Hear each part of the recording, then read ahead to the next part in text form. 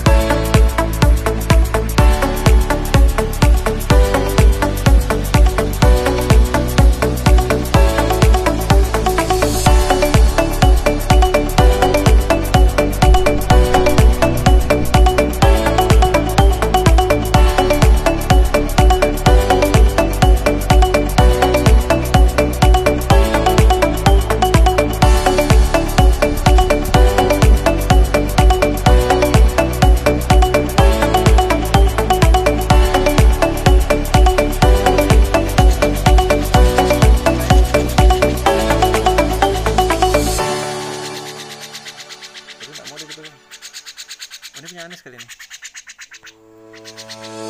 ini